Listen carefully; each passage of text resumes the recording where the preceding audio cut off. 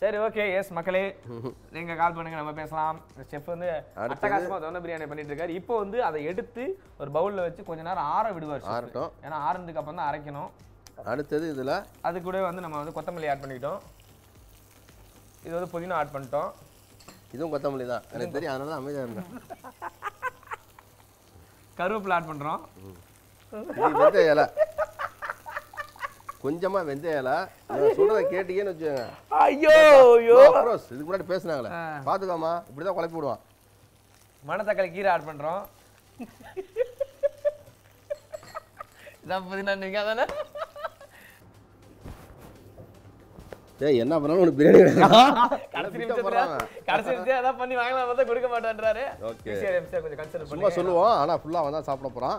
தம்பி என்ஜாய் பண்ணு என்ஜாய் பண்ணு. Super chef thank you thank you Black Sheep TV எல்லாருக்கும் நல்லா இருக்கும்.